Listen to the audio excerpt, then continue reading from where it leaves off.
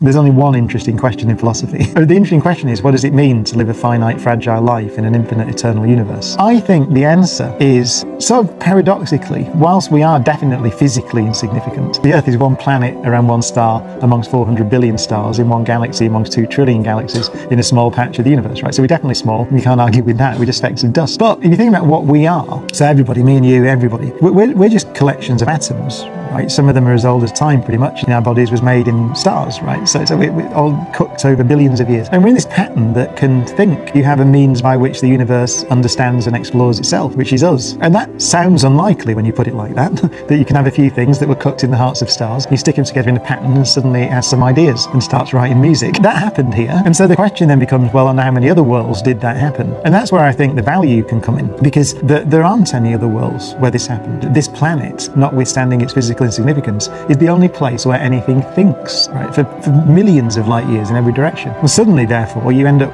considering this planet as being the most valuable place in the local universe.